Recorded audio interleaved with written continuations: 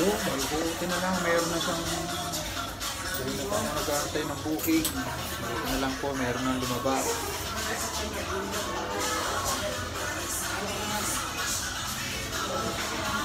Ah, pipick up na po sa Pinky Sambat. Pero dito po ako ngayon sa McDonald's, Barangay 7, dito sa Tanawa. Dito po ako nagsukulay-sukulay muna sa salamin.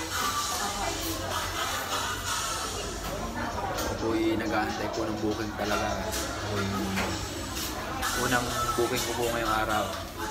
Oras na. 3.30 na. 3.30 na rin ako nakapagsimula. Uh, nagtatanong sila kung daw schedule sa pagpupunta, kung ba 8 to 5. So, sabihin ko lang po sa inyo ang schedule ko sa pagpupunta. Anytime, anywhere. Kahit anong oras ka dumuti, pwede. Ganun, ganun kabangis ang trabaho ko, ganun po kaganda. Hindi katulad sa mga company. May oras talaga. Pagka 7 to 5, kailangan gagaya ka na ng 4, p- 4 a.m. Di ba? Pagka yung absent, kailangan pa ng ano, ng matindihang mga letter, mga pakikiusap. Pagka nakadalawang araw, eh, hahanapan ka ng medical certificate kapag ay kinagdadahilan ng nagkasakit. Dito, hindi ko napipitawan to.